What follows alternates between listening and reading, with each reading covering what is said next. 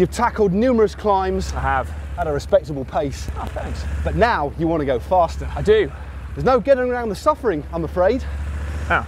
but the satisfaction you'll get will be well worth it. And here's how. Cue montage.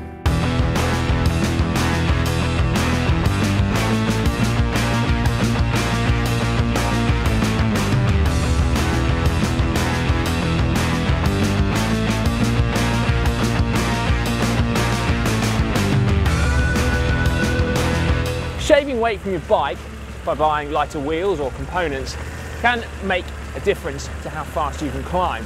But if your bike's already as light as you can afford, then actually you can look at your own body weight because often there can be some big gains to be made by losing a bit of weight. Yeah, put simply, if you're serious about climbing faster, then this, alongside improving your power, of course, is something you need to focus on. Because just losing a couple of kilograms of body weight can have a massive difference. It's simple physics.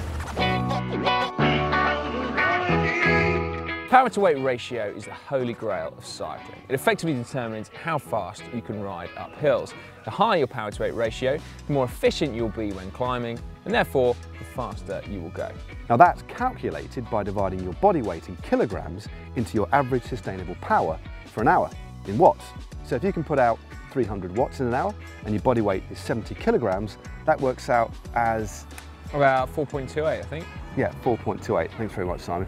But to put it into a little bit of perspective, an elite professional will have a power to weight ratio of between 5 and 6 watts per kilogram, and even more for a Grand Tour winner. Your aim should probably be to find the right balance between power and weight though, because if you lose too much weight, you can actually just end up going slower. Now that right balance is normally called your ideal racing weight. Well, you don't actually have to race in order to benefit from having a higher power to weight ratio. I wonder who's got the best power to weight out of these two. I reckon I've got a good idea.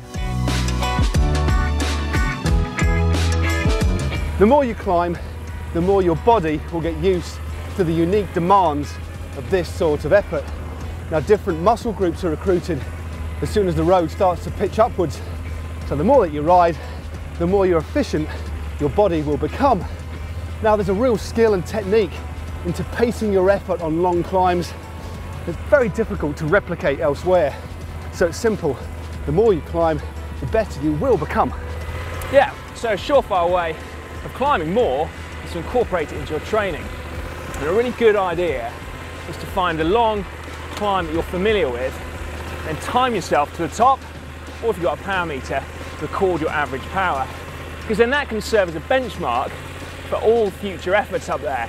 So it'll be a great indicator of how fit you are, and it can also be a really good motivator if you see your times plummet and your power soar. I'm offside. So- oh, he's soaring. Look at that. Matt, you look amazing.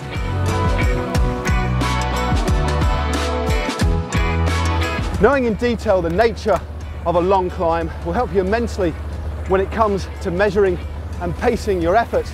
That's why we see so many of the professional riders heading out into the mountains to recon the climbs ahead of the Grand Tours.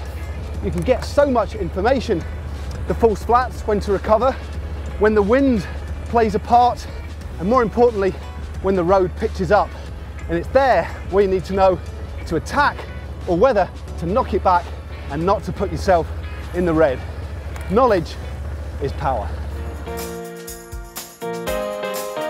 A light bike, an optimised power to weight ratio, and even knowing the climb are all going to be worthless if you don't get your pacing strategy right. So if you start a long climb too hard, then you could end up going into the red, which is where you're in oxygen debt. And that is really hard to recover from, meaning that you end up going a lot slower. Yeah, the key to riding a long climb fast is to settle into an uncomfortable but sustainable rhythm. Now, we never said this was going to be easy. So, first off, make sure that your breathing is deep and that you're in control. And secondly, look at your gearing.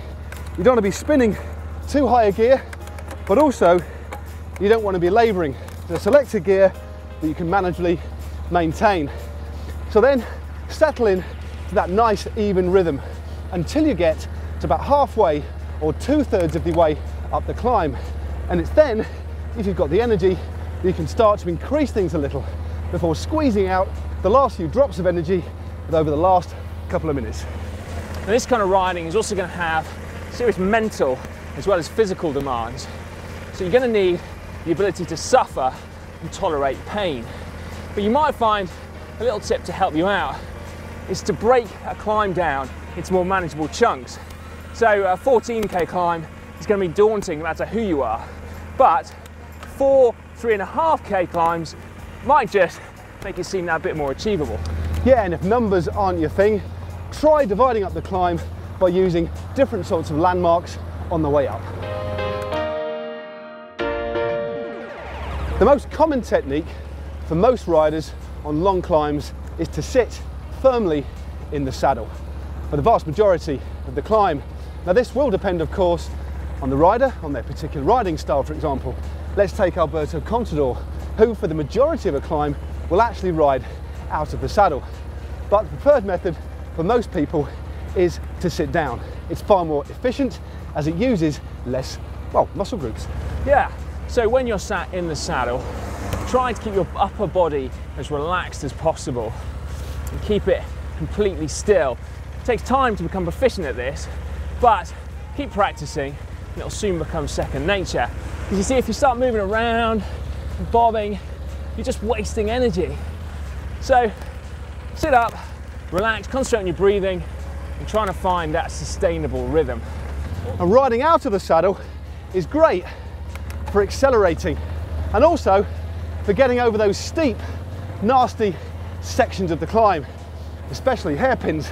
And it's also very good if you're suffering from a little bit of lower back fatigue, as it allows you to stretch things out. But the utmost importance is finding what works for you, because comfort, believe you me, is everything. So make sure you've got the ideal pacing strategy, think about weight, ride lots and lots of long hills and focus on your technique. Anything else? Yeah, don't forget to suffer. Oh, no Oh, matter how fit you get, climbing fast always hurts. Lots of suffering. If you want to see someone really hurting, why not check out just up there actually, because Tom Last really does know how to suffer, and there's a great video with him gurning doing just that. Or to train for long climbs, which is very important, click just there.